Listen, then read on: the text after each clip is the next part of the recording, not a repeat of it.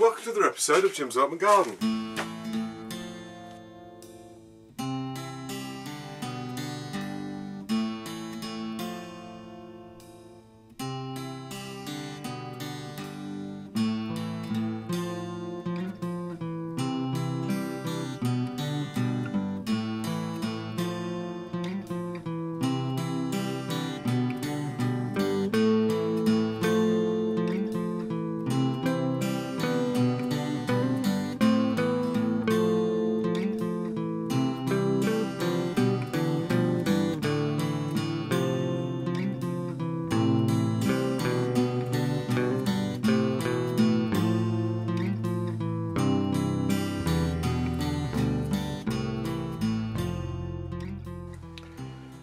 Like most people this time of year, you've probably got a glut of um, tomatoes, and what I'm going to do is basically pick everything off because I'm uh, going to be going off on holiday shortly, so I don't want to leave anything in here which is going to effectively ripen. So even the ones that aren't 100% ripe yet, um, I think that one I can possibly leave. Um, what I'm going to do is pick them all off, and all I'm going to do is chop these um, in half uh, or into quarters, and then um, just boil them up um, in a saucepan with some with some herbs. And uh, I'm going to uh, basically make up like a like a pasta tomato sauce. And what you can do with this is um, just put it into um, some containers and freeze it. It'll, it'll keep good in the uh, it'll keep good in the freezer for quite a few months to come. So what you can do is basically um, do a, a, whole sort of batch. Um, if you're going on holiday like me, or if you've just got loads of tomatoes coming all all together, and you just can't um, you, you just can't get around to eating them. Um, so what I would suggest you do is do exactly what I do. You know, pick them all like this. Um, anything that's sort of close to being ripe. Obviously, these ones here are, are really ripe. Um, and then basically boil them up with some um, with some herbs. And all I'm going to put in there is some um, oregano, thyme, and basil um, which always go well with um, uh, tomatoes. Now tomatoes have got their own sort of salt really, so you don't really need to season them as such. I might put a little bit of black pepper in there. Um, and then as soon as they've um, boiled up, I like to leave the skins on because the skins are where all the, the sort of the vitamins and the and the goodness is. So what I will do is um, boil them up with the you know with the skins in there as well, and then with a liquidizer at the end, um, like a handheld blender, I'll just um, go through and sort of liquidize it if you like which will basically just chop all the uh, chop all of the um, skins up. Um, and then that'll be uh, it'll be great for um, pasta sauce. So I'll just carry on picking these. I have got some over here. As you can see these are the ones that um, that, that, came off that other plant. Um, that one's got a little bit of a black spot on but I can cut that off. Um, and those will those will cook up just as well as the others even even some that have gone slightly too ripe, you know, you can do this with. In fact, to be honest with you, they're all the sweeter if you uh, use the ones that are possibly gone a little bit too far. Um, and I'll uh, I'll just do that and bob it in some containers, freeze it, and then that'll keep for quite a few months to come.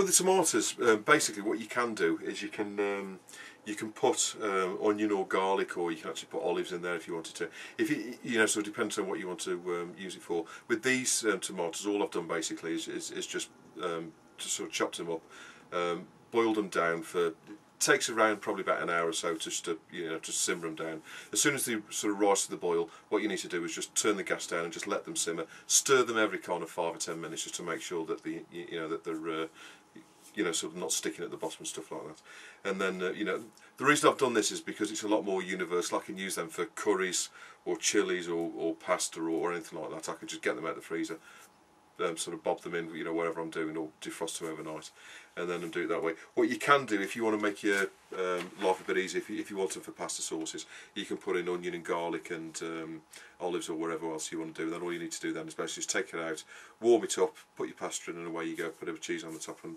you know, you know, within five minutes you've made yourself a meal. Um, the other thing that um, I have known people do is pretty much the same thing as I've done today, as I've shown you. Um, so put put your tomatoes in, boil them down till they get to sort of. You end up with about probably about half the volume as you start with, to be honest with you. Um, and then as soon as you've driven off the water, what you can do is add some vinegar uh, in there, just a little bit of vinegar, and you can jar it up, you know, sort of in, you know, sort of in jam jars. But you need to put the vinegar in. I'm not quite sure the recipe. I've not done it myself this way, but you but you put um, you can either put um, balsamic vinegar in, or you can put um, the, probably other vinegars you can you can put in as well. You just put that in, stir it all in, and then just just just just sort of bring it up to the boil, and obviously put it into sterilised um, jam jars, and you can keep it like that, just like ragu or or you know you know those the sort of sort of pasta sauces. Um, but uh, as I say, what I do is I freeze it and then sort of take it out and then just add it to wherever I'm cooking. Uh, and, and you can put it in a whole raft of um, different things. You can also leave it as it is and just use it like a um, as, as like a gravy or something like that. If you have a meal, you know, you can just sort of use that as like a, a, a sauce to go with something else. So uh, you know, there, there's a whole raft of um, uses for it. So anyway, that's that's a good way of using up your tomatoes.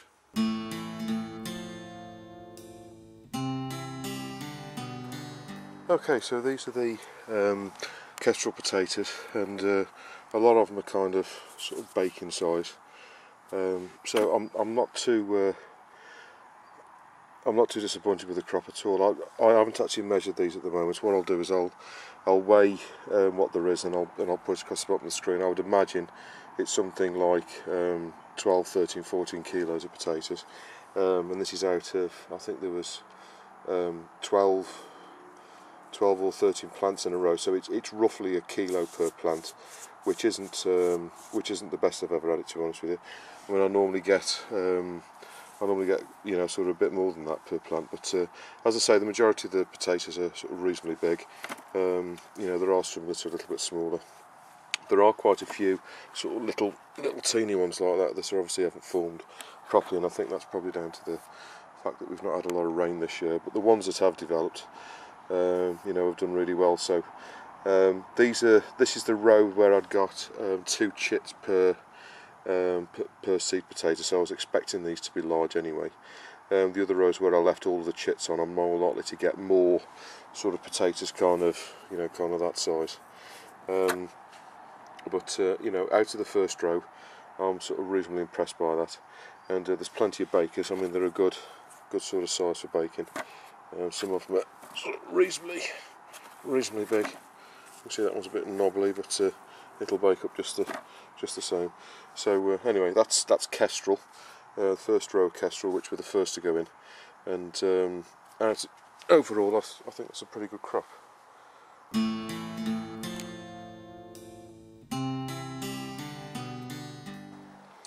So here you are down at the uh, the runner beans. As you can see, they're they're coming thick and fast at the moment. Um, the uh, it's been a late start for the beans, but um, they've most certainly made up for it. I mean, if you come down, you know, the branches are absolutely laden. The, you know, you don't need to look very far before you see, you know, great big clumps of them everywhere.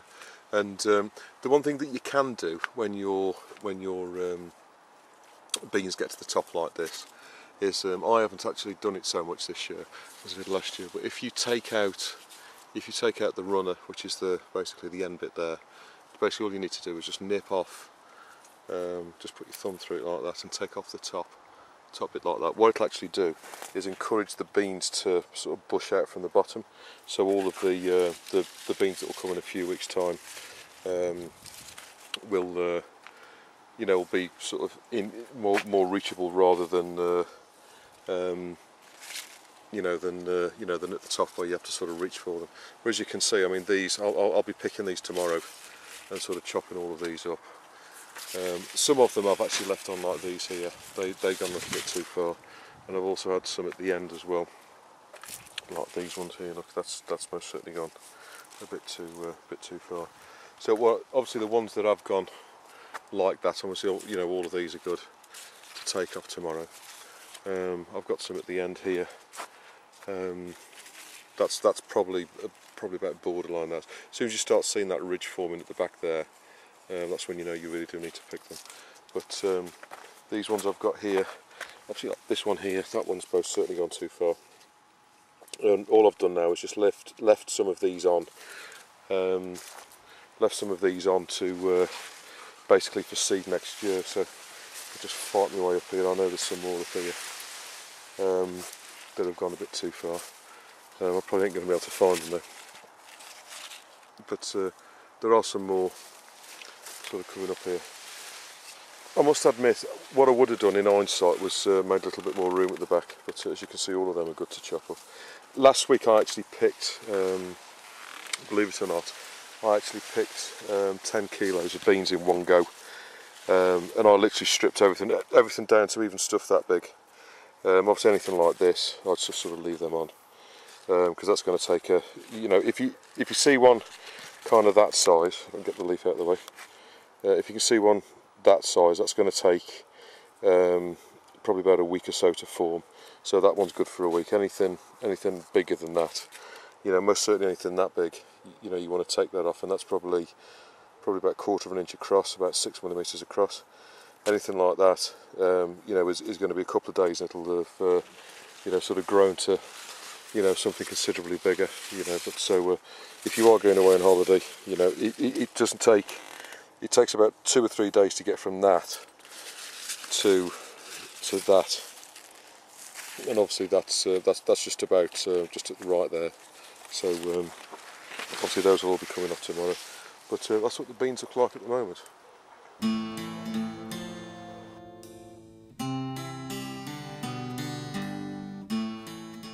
So I just want to do a few of the comments that have come over in the last week or so. Um, first one comes from Brian Hubry, and he was talking about the uh, the tomato leaf um, pesticide. He said he's not used it before, but um, he did put a comment on to say um, one thing that would be good if you did that was just to put a little bit of uh, washing up liquid in there, and what that will do is it'll label the um, pesticide, uh, the pesticide, um, stick to the um, the, uh, the plants that you're spraying it on. So just add a little bit of um, wash up liquid to basically get it to stick to the plant. So thank you very much for your um, your, your, tip there. Next one comes from um, uh, Marina Wilson, and she was talking about um, picking all of her uh, uh, maruna beans before she goes on holiday. Now I'm just about to go on holiday, as you know, as I've said.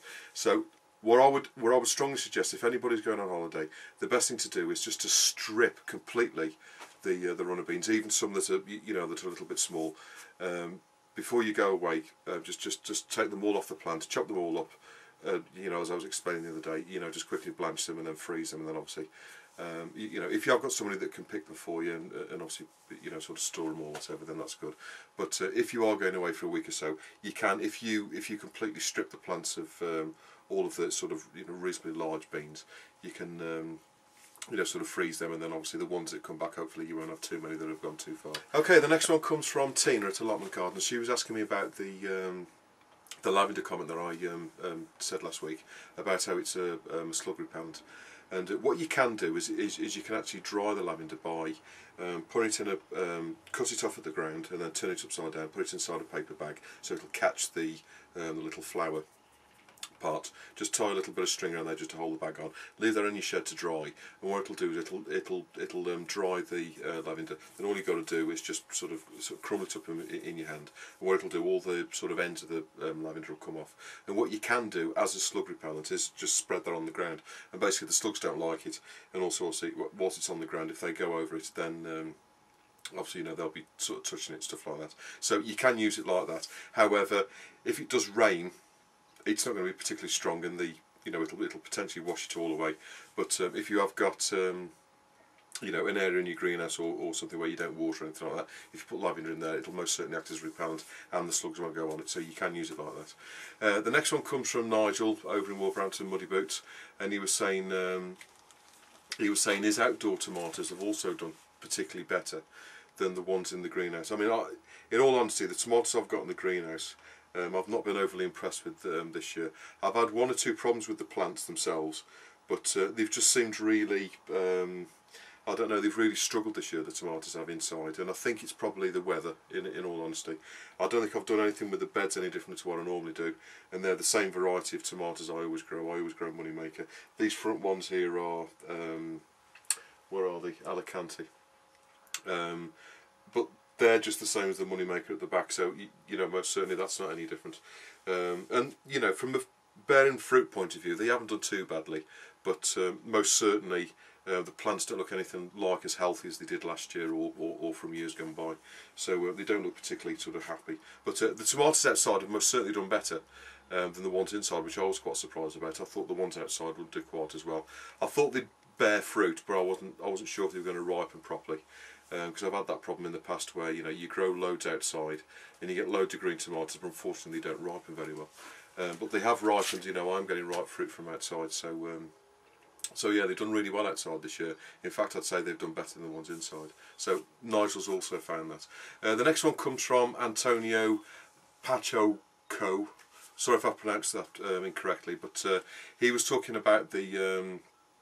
Um, last week I made a comment about the tomatoes, and I said if you want your tomatoes to ripen, don't pick off all of the um, don't pick all of, all of the sort of ripe ones off because they're giving off a gas. And and Antonio's um, left a comment to say that the actual gas that they give off is um, ethylene or um, ethene. So I haven't, I haven't looked that up. That's that, that's I've just basically taken that straight off the comment. But yeah, they do give off the gas. So that was another reason why today. I don't know if you noticed, um, in you know in the clip, um, I took all of the tomatoes off, um, you know, because I'm going away. And what that will do is it'll stop the rest of them from, or or at least slow down the rotting of the rest of them whilst I'm away. So uh, thank you for your um, comment, Antonio. Next one comes from Sandy Moth, and uh, she was saying um, that she's got some strawberries in her um, some, uh, I'm assuming they're um, um, sort of plastic boxes. She said they've gone from a fishmonger. So I don't know if the plastic or you can get some sort of polystyrene type boxes well. I wasn't quite sure, uh, you know, what you've got. And she's saying that she's put her strawberries in there and they've and they've grown and they've grown really well and now they stop fruiting sort of how much should you water them in all honesty I don't as soon as my tomatoes have fruited I don't typically water them to be honest with you unless it gets really really dry and you can see the plants are starting to get a little bit stressed. What I um, what I would suggest you do is um, leave them in the boxes um, and, and leave them outside. You don't need to bring them in or anything like that. Uh, just leave them in the boxes and just keep just just you know once a week or so just feel the soil. If the soil feels dry inside the box then then give it a bit of water. Um, if they're feeling you know sort of damp because you've had a bit of rain or whatever then just leave them to it. But um, as long as they're sort of free draining and um, you know when they have got some moist they'll be perfectly happy. Um, strawberry plants don't take um, a lot of water whilst they're not obviously when they're developing the fruit that's when they need the water um, when they're not um, developing fruit, um, they don't need anywhere near as much water. So all you've got to do really is just keep them damp. Um, you know, but uh, don't don't worry about um, the watering too much. If they're outside, Mother Nature's going to water them for you, really, to be honest with you. But I would just make sure that if they do run a little bit dry, and you'll be able to tell by the look of the plant you know, the plant will start to look a little bit withered or whatever. Just give them a bit of water and they'll soon pick up. Okay, the next one comes from Jane. Um, Jane Kelly, and Jane did make me laugh to be honest with you, because on the second video last week I said uh, that I was chopping up the beans along with my family. And uh, I had to read it a couple of times before I actually realised what I'd said. But um, yes you know obviously chopping my family up. But um, thank you for that Jane. I was I was chortling a few um, you know for a few moments after after uh, working out what uh, what I'd said. But um, um, Jane's made a couple of comments. Um, she was saying that um, her tomatoes have also been considerably better outside than this year, and I think it's I think it's basically down to the weather. I think this weather's most certainly suited plants outside better than the greenhouse. The greenhouse really has suffered this year. Um, most certainly tomatoes, the the uh, the cucumbers have suffered. Um, I mean the, the the yield of cucumbers is nowhere near what it was last year, and also other plants. I think you know um, I had problems with the peas. Also I had problems germinating some of the beans as well and I've had some comments off um, some people I know. Um, Tina was saying that she had problems with her beans germinating as well because of the weather. Um, so it's just been one of them years. Um, the other comment that um, that, that um, Jane made was her Big Jim chili pepper and look at mine. It's uh, pathetic. It's just got one left at the top which is the only reason why it's in here. That's, I'll probably take that off now to honest and ditch that. But uh, yes this was promising if you read the label it's actually it actually says a whopping 25 centimetre long peppers, and that plant's been nurtured, it's been repotted, it's been watered and everything, and that's the kind of peppers I've been getting off it. So they're, they're about two inches long, about about five centimeters if that. I have had um, I have had uh, probably about uh, 12 chilies off there. Not particularly hot to be honest. I, I, I was quite surprised because on the if you look at the label it says they're reasonably hot and they, they weren't that hot to be honest. But um, as I say, I haven't watered it too much because it actually says on the label not to water it too much. Um, but um, it, it's it's it's not done particularly well. Perhaps it would have done better outside to be honest. But um, Jane was saying that she's also had um, a few of her chilies um, rot off on the plant.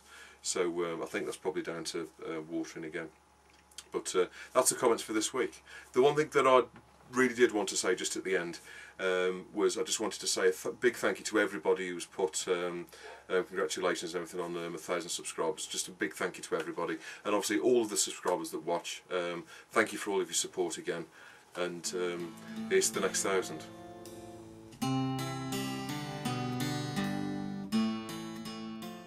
So just a quick update on the ginger, as you can see it's doing really well, it's up to sort of uh, about four foot high now. Now this one at the front here, unfortunately rotted off. Um, I don't know why, um, probably the weather, but you can just see the top of it. Top of it there, that's sort of come off, so I'm, I'm not uh, expecting much from that now. As you can see, these ones at the back here, they've sort of developed quite a sort of bulbous um, base to them. So that one's growing quite well. And then this one at the side here is just thrown up um, a second little shoot there.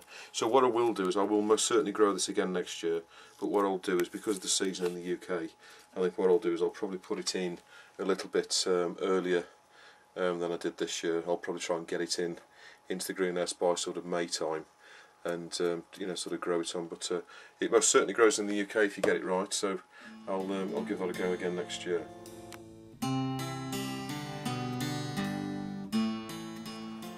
So if you remember back uh, when I put the carrots in two weeks ago, um, I cut down the uh, the chives down to kind of this level here, and as you can see over the last two weeks, the chives have grown pretty much from there up. All of this has grown in the last two weeks. So if you do cut your chives down, um, you will get fresh growth. Um, as soon as you've got the the roots established in the ground, um, they'll grow up like this, and you'll get um, a nice fresh um, crop of chives to have with your salad potatoes when you're making uh, potato salad.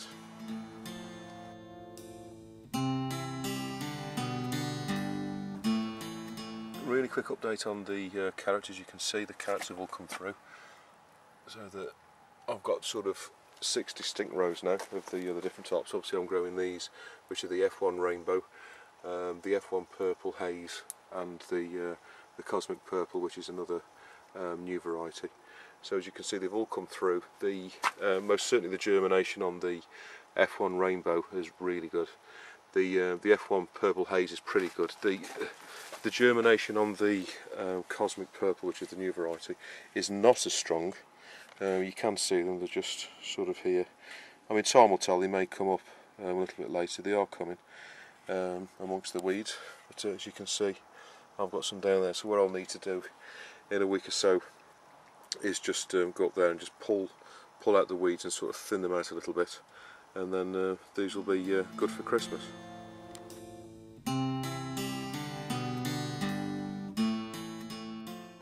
So I just thought I'd show you these. These are the um, these are the chickpeas, and they're the uh, the actual little pods there. Look, and in each one of these pods there's two chickpeas. Now I actually took one off the other day, and they haven't um, they haven't quite formed inside.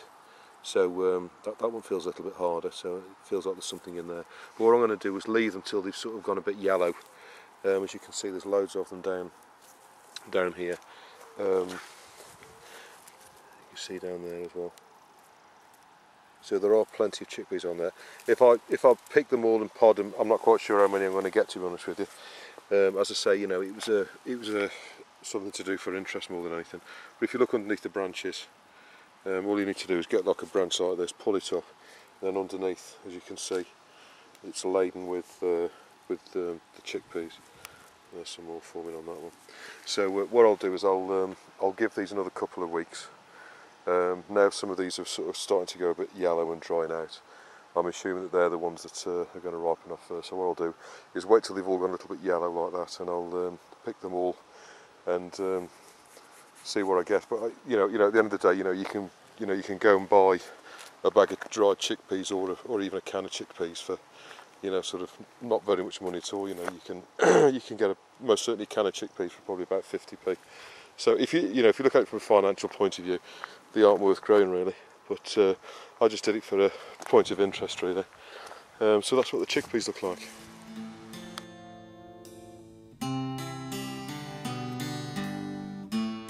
So the pumpkins, as you can see, are in here. And um, this one's starting to turn a little bit orange.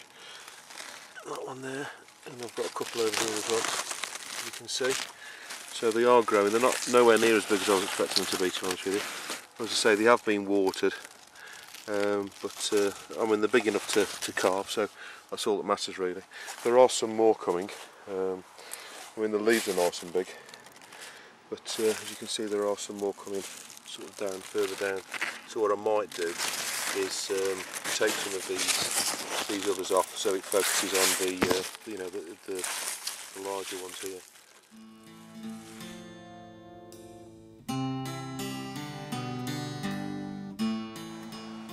Uh, the second batch of rhubarbs here, I've actually um, picked about um, about 10 kilos of rhubarb in the last week, believe it or not. Um, the second the second batch that you get, which is always sort of in August time, um, is is never as good as the spring um, spring ones. But uh, you know the, the the shoots the shoots don't tend to be anywhere near as thick as they are in the spring. As you can see, that's probably about uh, probably about an inch or so across, probably a little bit less than an inch across. Um, even though the leaves are nice and big. Now I have harvested mainly up this side here, but um, if we just go up here, um, so there should be some thicker ones up here. There are thick ones amongst them. I haven't harvested anything from here yet. As you can see there, that's sort of about an inch and a quarter across. Uh, um, so that's these are the ones I've been harvesting basically. The ones that are um, a bit wider. But um, ideal for your crumbles.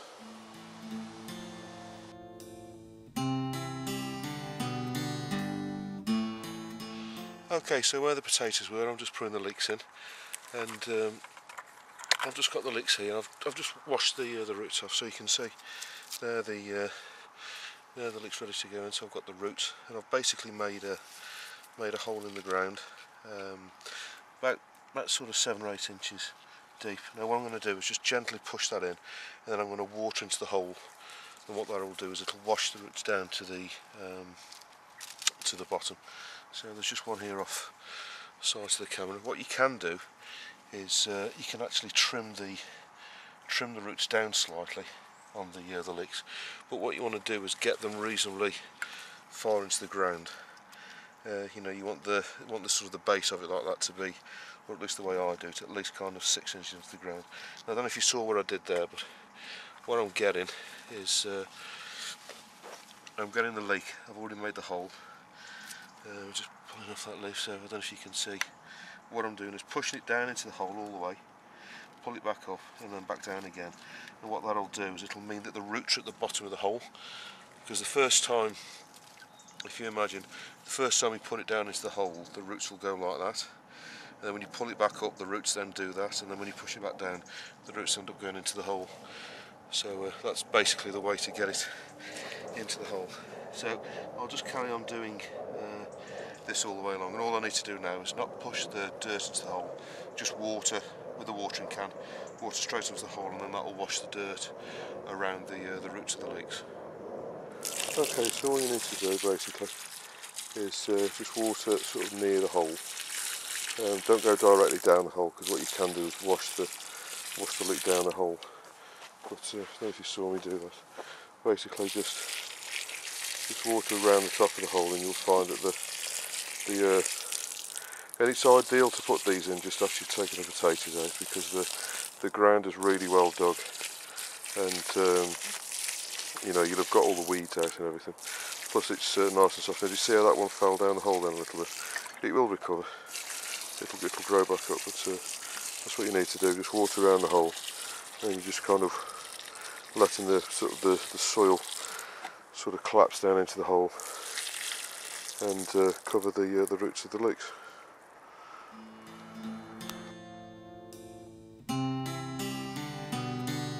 Now I've had a little bit of a surprise this week. Um, this should be a pumpkin, but for some reason it's come out like that. Now I'm not sure if that's a marrow or what, I don't know if anybody can help me with this, but uh, this should be a pumpkin plant and um, it's come out like that. Obviously the seeds come out of a packet um, and it's the only one of its type, so it's, it, it's most certainly stripy, which is what makes me think it's a marrow. But uh, if you can uh, identify that for me, I'd muchly appreciate that.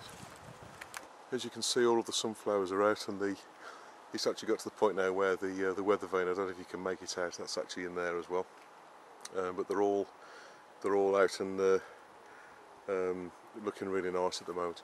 And the tallest one of the lot, um, I'm not quite sure if those over there um, are actually tall. I've not measured them yet, but I've got a couple of tall ones over there. But um, I think this one here, um, just there, let's walk around, I think that one's going to be the possibly the tallest this year, and that's probably going on for probably about three and a half metres in total. So what I'll do is I'll uh, I'll get out and measure that before too much longer. So, thank you for watching this episode of Jim's Allotment Garden. I hope it's been of some use to you. Please don't hesitate to put any comments or questions that you've got below and I'll always get back to you. And I'll see you on the next episode of Jim's Allotment Garden.